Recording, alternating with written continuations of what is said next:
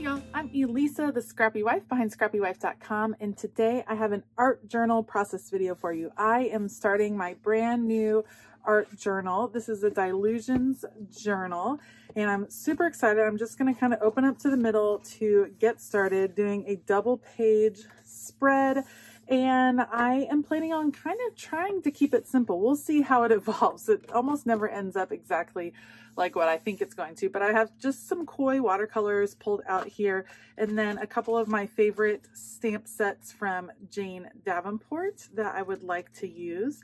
And we're just going to kind of go with it and see what happens. So um, I will definitely link everything that I end up using down below. Otherwise, I will put you guys on fast forward. Let's go. All right, I was so excited to jump into this art journal um, and to break it in and do my first page. I had a vision for this page. I definitely wanted to do a lot of watercolor. I wanted a really vibrant background, but I wanted soft edges in the background. So I knew watercolor was kind of the way to go. Um, and basically I'm gonna kind of outline the edges with color and it's going to end up being kind of a rainbow look. So I have the pink into the purple coming around the bottom and then I'll go into blues and greens and then you can see at the top that I had the pink going into the yellow which will also come into the greens over on the left side. So it's kind of like a rainbow along the edges of the page. This is sped up four times as fast as I did it. It took many layers.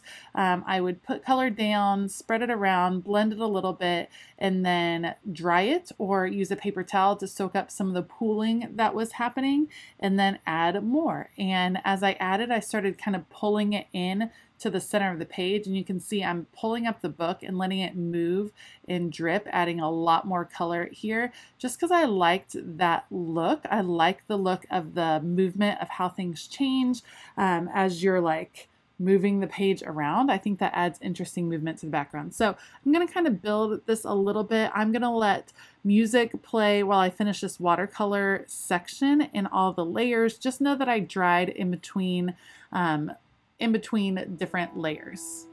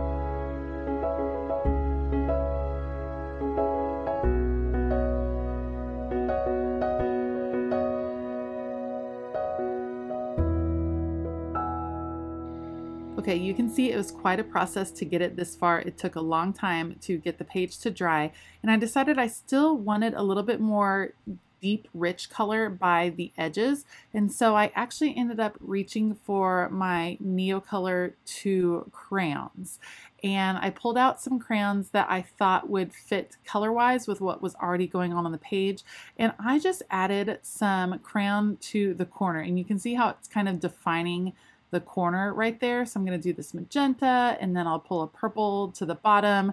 I'll do a fun green over in the corner and the Neocolors play well with watercolor because they are water reactive. It's going to work well with that base underneath it and it's just going to help me define the corners. So all I'm doing is adding the Neocolor to the corners and then I'm going to just pull a water bottle out and spray down the Neocolor so that it reacts a little bit, starts moving, but it won't move quite as much as the watercolor did. So see, reacting, you can see it start blending. When I move the page, it starts moving and I'm trying to use just watercolor. I end up using, or just water, I end up using my finger a little bit on a couple parts, but otherwise that is pretty good for the base of the page. All right, I did let it dry completely and now I'm gonna start with the rest of the page. The longest part of this process by far was certainly getting the background how I wanted it, but it was a great start in this new art journal because it really allowed me to kind of play with what the paper was going to feel like. So I'm going to ink up this stamp. It's a sweet little bear hugging a girl. I love these Jane Davenport stamps. I think they're amazing for all kinds of things, for card making and things like that. I love them for art journaling um, just because I don't have the confidence to draw some of these things on my own. So I had this vision of this bear and this girl hugging and then these this particular star from a different stamp set. Um, I will link these stamp sets below if I can find them. I'm not sure that uh, they are made anymore. And I wanted this bear and this girl to be sitting on a bed of stars. So that's what they're doing. All of these stars kind of nestled up underneath them and coming up around them. And then the stars are just going to be taking off from underneath them. So the stars are going to come up the page to the upper left, um, trying not to space them like super equally apart, like having them be really sporadic, and trying to remember that I do want to have a title on this page, so I want to leave room for lettering up at the top. And there you go. So my stars are going to kind of come across the page. I just keep going until I feel pretty good about it. I end up adding a few more at the bottom just to change it up. it needs just a little more. You can see I put it away and then I'm like, nope, not happy with it. Bring it back out. Change my mind. I even took it off the stamp block. Nope, changed my mind. Looked at it again and now adding more to the bottom. I It just felt like it dropped off too fast. So I needed them to have a nice secure ground of stars to, to be sitting on. So that will be in place. And then I want the stars to have some color to them. So I will pull out my Neocolors again to accomplish that. All right, and with the Neocolors, I am just filling in some of these stars with different colors. And the idea is that there would just be a color concentration where each star would be. So I fill it in with the color. I'm not filling in every single star, just um, the ones that have taken off, taken flight are filled with color. And then a few of them that they are sitting on are gonna be filled with different colors as well. And then I will activate that color with the spray bottle to get the water on there and then just use a paintbrush to lightly move the color because it didn't quite move as much as I thought it would just with the initial spray bottle. Um, so here's the spray bottle, moving everything out of the way so I have room. Spraying all of those, you can see it kind of stood still. So I'm going to bring in a paintbrush and kind of just brush along almost to create a shooting star look as the color just comes out from the star because I wanted it to look like the stars were coming, were shooting out from where these two were sitting. And again, using the paper towel, anything that pooled that I didn't like, I just used my paper towel to clean up a bit. Okay, so I let that dry all the way and then I decided I'm going to add some splatters. And the way I worked on the splatters, again, using the Neocolor, I colored it on my large acrylic block that I used for stamping and then add a little bit of water and it activates it and it makes it into a watercolor feel. So then you can see just making sure it's all activated and then splattering it across my page, sticking with the rainbow. So again, I went with the magenta and then the orange and then this is a beautiful kind of jungle green color that I'll add over in this corner and I just wanted it to look a little bit messier. I love splatters. We all know I love splatters, so I felt like it was really appropriate to add splatters in right at the beginning of this art journal book.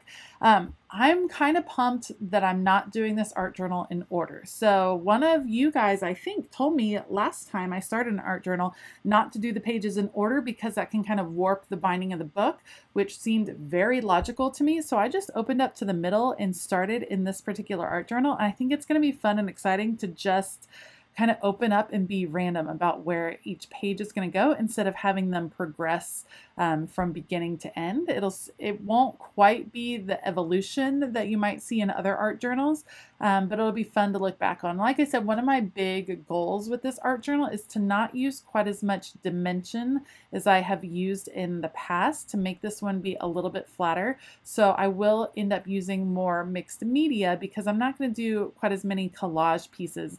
I'm sure it'll happen sometimes, but not quite as many as normal. I did end up deciding that I wanted to color in my bear and my girl, but they are not going to be realistic colors at all. We're going to go with a peachy tone and a magenta for this beautiful bear. And then the girl is going to have purple hair because why not? I think one of my secret dreams is to have purple hair.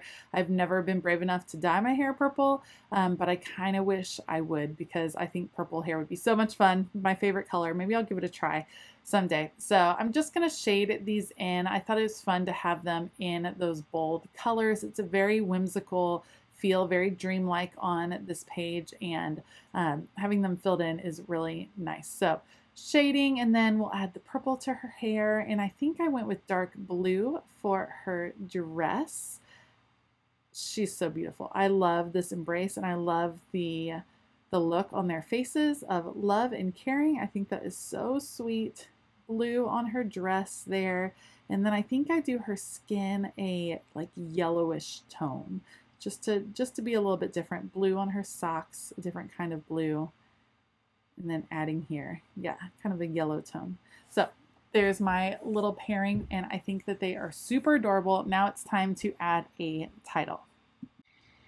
The last thing I do on this page for now is adding a title. And I say for now because as I was uh, photographing this finished page, it felt less and less finished. I feel like it needs something else. I'm not sure what it needs yet, so I'm going to give it a little space and then I can always come back and add something later. Perhaps another art journal entry will inspire me. It just feels like there's there's something else to be done, that it's not quite finished.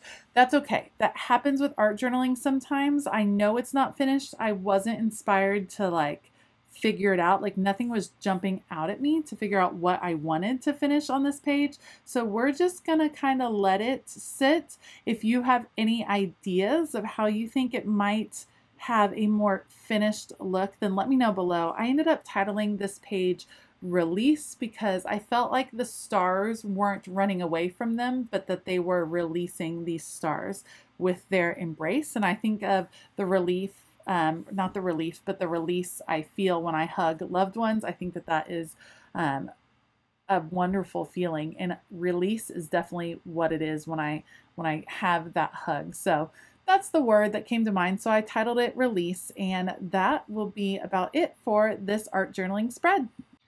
I hope you enjoyed this video and this very first art journaling spread in this new art journal. If you like this video, please give it a thumbs up and um, consider hitting that subscribe button and the bell notification button. I have linked supplies that I used down below, so make sure to check those out. And I want to give a huge shout out to my Scrappy YouTube members. Thank you so much for all of your support. It really means the world to me. It makes me able to keep up this channel. Thank you so much. If you are interested in becoming a Scrappy YouTube member, then make sure to click the join button or there is a link in the description box as well. All right, I hope that you have a fabulous day. And as always, keep it creative.